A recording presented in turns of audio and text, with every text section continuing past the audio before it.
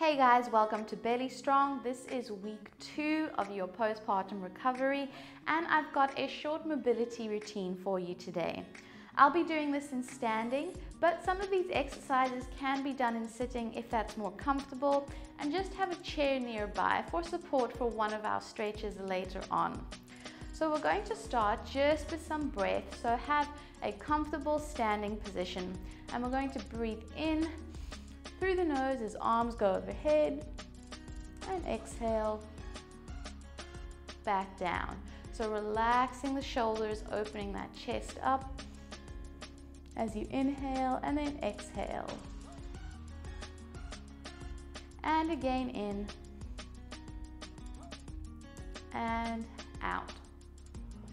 You're then going to bring one arm overhead as you inhale grab the elbow and exhale, pull with a slight side stretch into a tricep stretch. And inhale, exhale, pull, stretch out that tricep. And again, inhale. Exhale, pull. and inhale. Exhale, pull. One more each way. Carrying around your little one can be tough work on the arms, so we want to do a little bit of shoulder mobility and stretching. You're then going to bring your hands to your shoulders, and we've got a little bit of a trunk twist. So try to keep the hips facing forward and the twist really happens from the hips up. We've got a slight abdominal brace or a little bit of tension here for some stability. And you can do this in sitting, which will be a little less load on the pelvis. Four, three, two, and one. And then just push the arms forwards as you stretch out the shoulder blades. Really round the spine, tuck the chin in.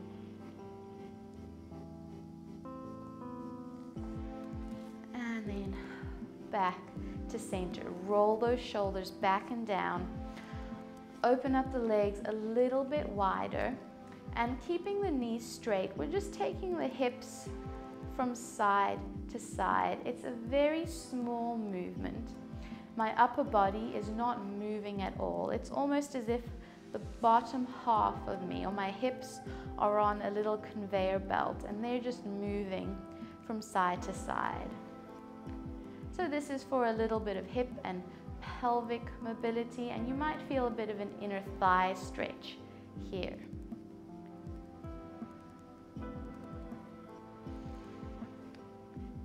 Four more.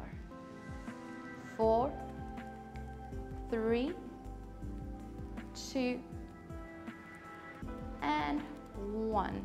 You're then going to change the foot position into a bit of a mini lunge for a calf stretch.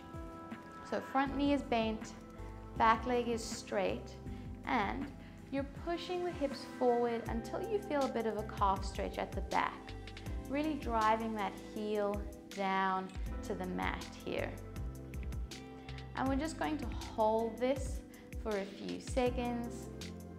Depending on how flexible you are, you might need to have your feet quite wide apart in order to feel that calf stretch. And then we're going to add a hip movement. So you're taking your hip towards the front leg and back. Again, for a bit of hip and pelvic mobility, a bit of a hip flexor stretch here too. And four, three, two, and one, and then changing up. Other side.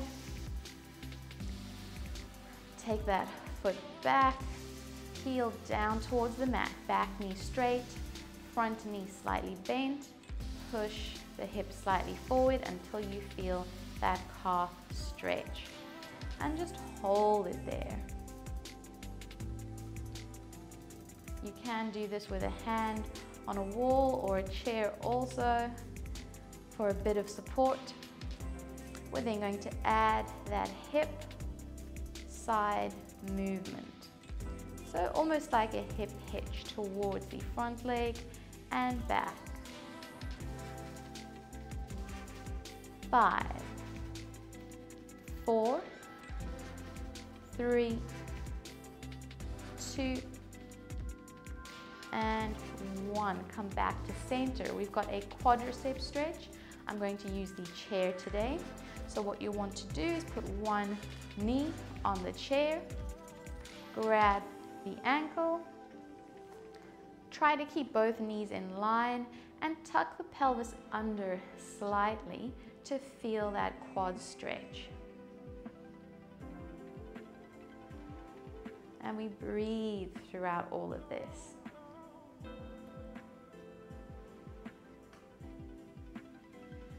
Five, four, three, two, one, and switch. I'll do this side on so you can also see my side posture. So one knee on the chair, knees as close together as I can get them in this position.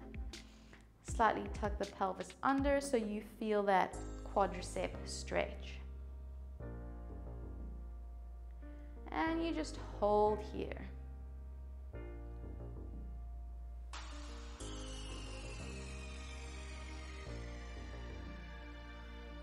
Four, three, two, one. Coming back down, one final stretch. Clasp your hands behind your back, pull the shoulders down, open the chest, and take your head down to one side you should feel a neck stretch here. And just breathe in this position.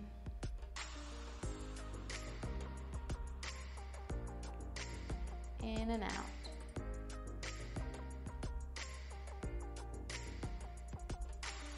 And then gently over to the other side.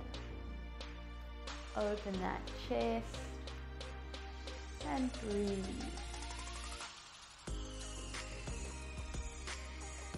So breathing is a great component to work on for recovery for a, a lot of reasons.